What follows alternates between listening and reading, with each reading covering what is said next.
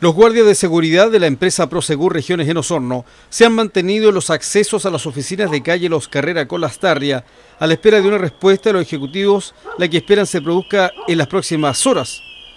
La presidenta del gremio, Irma Núñez Cárdenas, dijo a Noticias que son cuatro las mujeres que también integran este sindicato y quienes dijo lamentan también haber llegado a estas instancias al no haber respuesta de mejoramiento en las peticiones de la fracasada negociación colectiva con la entidad. Intensos, eh, cansadores y, y, tenemos que seguir luchando, pero aunque hasta ahora no, no haya habido respuesta de nuestra empresa.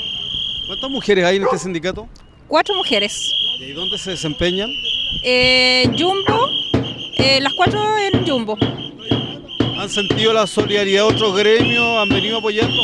Sí, eh, estamos muy agradecidos de otros sindicatos, tanto eh, amigos, familiares y todos los que los han apoyado.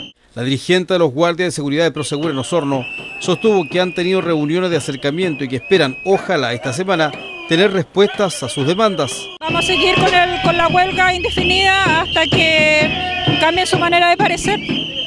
Es muy poco lo que están recibiendo en el convenio colectivo, ¿no? Demasiado poco, o sea, más que nada, más que poco, es una burla que lo están haciendo a los trabajadores.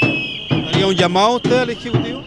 Sí, eh, bueno, yo le hago un llamado a que lleguemos a algún, algún diálogo y poder eh, eh, arreglar esta situación y, y que sea para el bien de ambos. Se informó que en las últimas horas habría nuevas reuniones de acercamiento entre las partes para buscar una solución definitiva al conflicto laboral que desde la madrugada del viernes 6 de diciembre pasado, 51 guardias de seguridad de la empresa Prosegur Regiones iniciaron en la provincia de Osorno.